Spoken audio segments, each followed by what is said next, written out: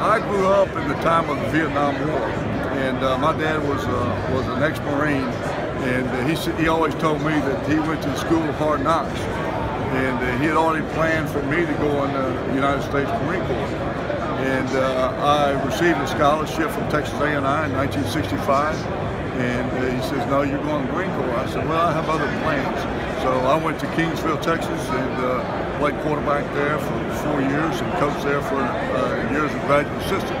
At that time, I you know met Mr. Upshaw, Mr. Gene Upshaw, and uh, just just a leader of, of that football team. And uh, better than that, he was a great man, great individual. He from Robstown, Texas, and uh, he, he did so many things for that community in Kingsville and Robstown. So just an outstanding man, and his values were, were such that uh, I want to teach my children the same values that, that Gene Upshaw had. And I remember just when I played in my little bit of time, and and uh, you know it's it's it's a lot more fun out there than people think. Because like they wonder, like I know my girlfriend always asks, like, what are they saying to each other? You think? And I'm like, it's probably not what you expect.